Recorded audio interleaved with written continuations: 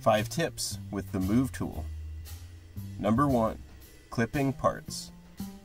The Move tool in the upper left lets you drag parts you've already attached. This gives you a lot of freedom in part placement, allowing you to create gaps and even clip parts inside of each other. Number 2. Fine adjustment.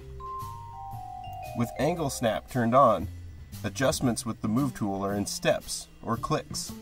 Hold shift for precise control. You can also turn off angle snap for more flexibility in placement.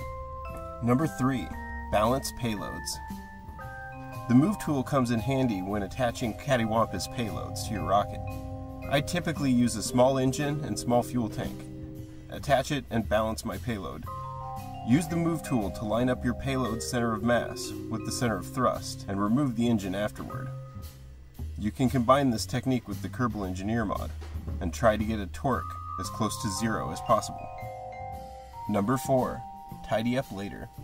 With the inclusion of the building tools, it's often good practice to somewhat haphazardly slap your small details on your spacecraft, run through with the move and rotate tools, and tidy things up later. This especially speeds up aircraft construction. Number 5. Minimize drag. The Move tool allows us to use nearby nodes for attachment, instead of parts like radial attachment points and octagonal struts. Attach your parts and then move and rotate them into position. This can be a handy trick building high-speed aircraft like SSTOs by eliminating extra weight and drag. Thanks for watching! Join me next time for 5 tips landing boosters.